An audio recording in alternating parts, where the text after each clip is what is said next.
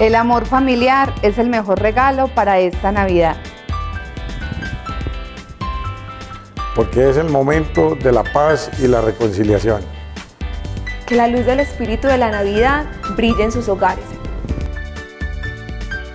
Porque es el momento de compartir regalos.